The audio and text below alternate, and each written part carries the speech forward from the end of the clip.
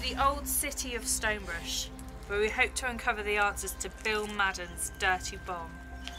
I'm joined by Zach Madden, Bill Madden's son. No, no, no, no way. But you need to be in it. Besides, I funded your meds. They're not cheap. Look, I shouldn't have. This will explain your side of the story. You just have to get to know Kay. She wouldn't be the first, though, would she? To get to know Kay. She's not like that. You don't know anything. I know everything. How? Jess told me, didn't she?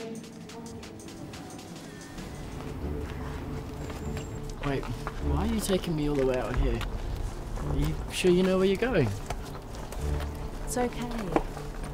They moved your class to another campus. Who the fuck is she? That doesn't matter right now. Who the What fuck do you is mean he? doesn't matter?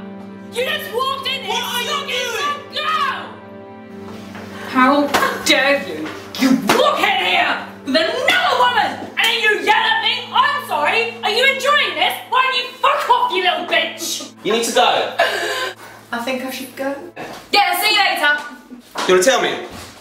I'll tell you. I'll fucking show you. I was earning us some cash because some loser decided to quit his fucking job. So there you go, my escort money. You're a fucking escort. So your answer is to fuck everyone for money? You need to stop fucking pushing me like that. I'll tell you what. Piss off.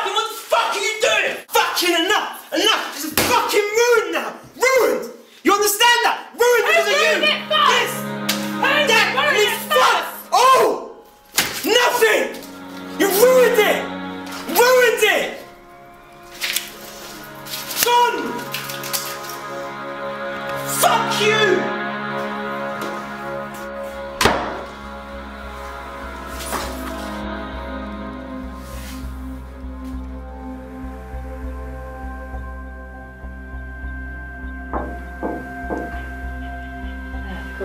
Amir. Anyone home? Oh, hi. Uh, what are you doing here? Well, I got tired of waiting at the hotel. So I thought, where is he likely to be? Oh, um, Don't you know it's rude to keep the lady waiting?